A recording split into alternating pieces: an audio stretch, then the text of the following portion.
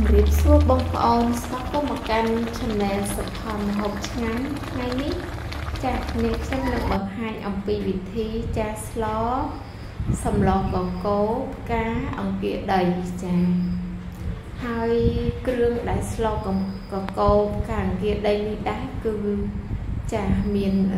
ច្រើនណាស់ហើយនឹងខ្ញុំបានរៀបចំរួចរាល់ហើយចានេះជាបន្លែគ្រប់មុខចាសាច់ជ្រូកចិញ្ច្រាំ ចាត្រីអណ្ដែងកាត់ជាកង់កង់ចាបន្ទាប់មកគ្រឿងចាមានគល់សង្គ្រៃរំដេងស្លឹកក្រូចល្មៀតនិងខ្ទឹមសចាហើយគ្រឿងបន្តទៀតមានអង្ករលីងប្រហុកចិញ្ច្រាំស្ករត្នោតចាប៊ីចេងម្ទេសនិងប្រេងឆាចាបន្ទាប់មកមានដូងចាមានចុងខ្ទិះនិងដើមខ្ទិះ ចាចាហើយនេះជាបន្លែបេះនៅគៀនផ្ទះចាមានស្លឹកងប់និងចាស្លឹកម្រះការអង្គាដីចាកាលហៀងចាគ្រឿងទាំងអស់នេះនាងខ្ញុំបានរៀបចំរួចរាល់ហើយចាបងប្អូនចាបន្ទាប់មកយើងទៅធ្វើគ្រឿងទាំងអស់គ្នាចាគ្រឿងនេះដែរគឺយើងយកមក ចាយកមកកន្លុកបើបងប្អូនអត់មានម៉ាស៊ីនសម្រាប់កន្លុកទេអាចបុកជាចាបុកដៃក៏បានចាបានថ្មចា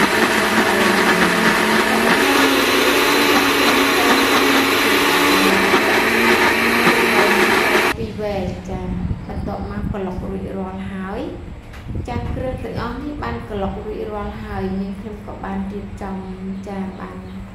សម្រាប់ទុកចំអិនហើយចាសូមអញ្ជើញបងប្អូនតាមដាននាងខ្ញុំចំអិនទាំងអស់គ្នាចា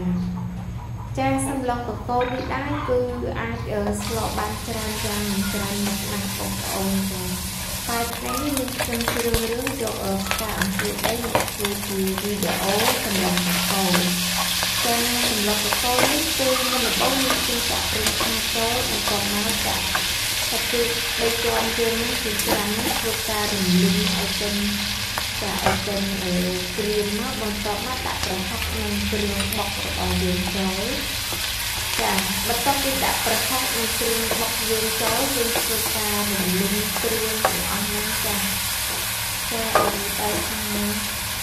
យើងខ្ញុំឡកកកគឺត្រូវការរំលឹងឲ្យគ្រឿងយើងឈ្ងុយចាបន្ទាប់មកយើងគឺដាក់ស្ករត្នោតចូល ពីចេងចាពីចេងប្រើមួយស្លាបព្រាកាហ្វេកន្លះចាស្ករត្នោតមួយស្លាបព្រាបានបើបងអូនទៅទៅអែមពេកគឺដាក់តាកន្លះស្លាបព្រាបានក៏បានចាចាបន្ទាប់មកធ្វើការរំលឹងគ្រឿងទាំងអស់នេះបងអូនចា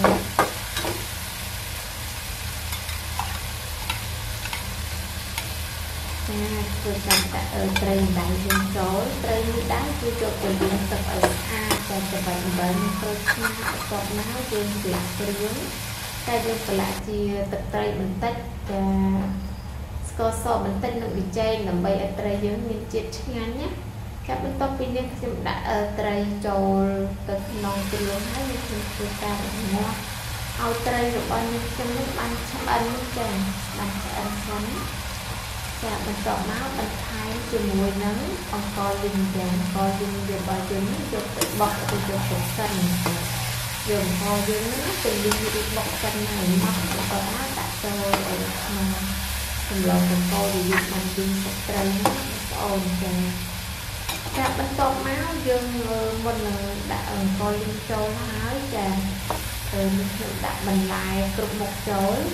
តែបន្លែគ្រប់មុខនេះដែរមានដូចជាលហុងចាខ្នោចាចេកល្ពៅត្រប់សណ្តែកគួរចាហើយបន្ថែមជាមួយនឹងខ្ទិះដើមដើម្បីកុំឲ្យសម្លយើងខ្លោចអង្ករលីងចុះទៅឲ្យដាក់ខ្ទិះដើមចូលពីវិញតែបន្ទាប់មកយើងនឹងធ្វើការច្បល់គ្រឿងចាក់គ្រឿងនិងបន្លែយើងនឹងឲ្យចូលជាតិគ្នាសិនចា ចាបន្ថែមជាមួយនឹងចុងខ្ទិះចាចុងខ្ទិះនឹងបន្តិចដើម្បីកុំឲ្យស្លយើងនឹងខ្លោចណាចាបន្ទាប់មកនេះខ្ញុំធ្វើការក្របហើយរងាស់ចារងាស់ឲ្យត្រីនឹងបន្លែនឹងឆ្អិនបន្តិចសិនចាបន្ទាប់ពីយើងរងាស់បន្លែនឹងត្រីហើយនឹងខ្ញុំចាក់ចុងខ្ទិះចូលទៅហើយបងប្អូនចា ចាឈ្ងុយមែនតែនសម្លកកូរខ្មែរយើងណាពេលដែលបានស្លហើយគឺញ៉ាំបាយច្រើនណាស់ចាជាសម្លចាធម្មជាតិត្រីក៏ធម្មជាតិបន្លែបេះគៀនគៀនផ្ទះយើងនឹង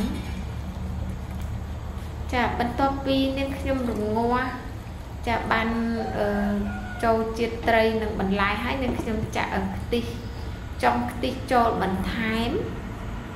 ចាក្របធ្វើការរងាស់ឲ្យសម្លរបស់ យើងនឹងពុះសិនចា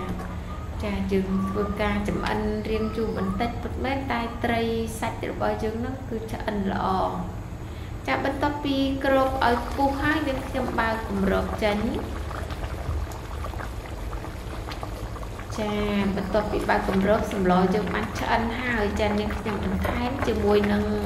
ការអង្គាដីចាដល់ស្រស់ស្អាតណាចា បងប្អូនធ្លាប់ចំអិនជាមួយនឹងផ្កាអង្គាដីដែរទេចាចាហើយមានផ្កាលិហៀងផងដែរចាថ្ងៃនេះគឺសម្លបែបផ្កាផ្កាចាមានផ្កាអង្គាដីនិងផ្កាលិហៀងចាហើយផ្កាលិហៀងនេះដែរអាចយកទៅឆាឬចៀនពងទាចាចាយកទៅស្ងោរទៅហ៊ូក៏បានដែរហើយនាងខ្ញុំយកមកស្លជាកកោចា ចាបន្ទាប់មកបន្ថែមជាមួយនឹងស្លឹកបារះចាស្លឹកបារះនិងស្លឹកងប់យើងចាបន្លែបៃតងធ្វើឲ្យសុខភាពល្អពេលដែលយើងញ៉ាំទៅចាជាបន្លែមុខផ្ទះទាំងអស់នឹងសូមអភ័យទោសដែលនាងខ្ញុំបានថតចែកជូនបងប្អូនទស្សនាចាពីព្រោះអឺចានាងខ្ញុំអត់មានអ្នកជួយថតឲ្យទេសូមអភ័យទោសបងប្អូន ចាបន្ទាប់ពីបំគ្រឿងបន្លែទាំងអស់នឹងចូលហើយចានាងខ្ញុំធ្វើការរងាប់បន្លែយើងបន្តិចសិនដើម្បីឲ្យបន្លែនិងផ្ការបស់យើងបានឆ្អិនហើយយើងដាក់ជាមួយនឹងម្ទេសម្ទេសតែក្រៀមចាក្រៀមពាក់កណ្ដាលចាម្ទេសហ្នឹងគឺក្រៀម50%ចាដាក់ចូល4 5ផ្លែទៅបងប្អូន ចាគឺ6ផ្លែចាចាធ្វើការរងាស់ឲ្យបន្លែយើងឆ្អិនបន្ទាប់មកនេះខ្ញុំធ្វើការដួសដាក់ចានចាសម្លនាងខ្ញុំគឺមានអឺចាស់អង្គលីងហើយខាប់ឈ្ងុយពេលនាងខ្ញុំភ្លក់គឺឆ្ងាញ់ត្រូវចិត្តនាងខ្ញុំតែម្ដងបើបងប្អូនចូលចិត្តចាប្រៃផ្អែមឬរសជាតិឆ្ងាញ់បែបណាគឺដាក់តាមចំណង់ចំណូលចិត្តចា ចាពិតជាឆ្ងាញ់មែនតើបងប្អូនចាឈ្ងុយឆ្ងាញ់ណាស់បើបងប្អូនចង់ដឹងថា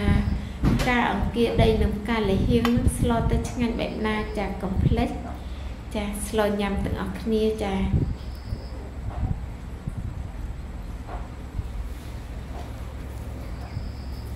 ចាបន្ទាប់ពីដួសដាក់ចានហើយចាឈ្ងុយឆ្ងាញ់បែបនេះគឺកោពោះ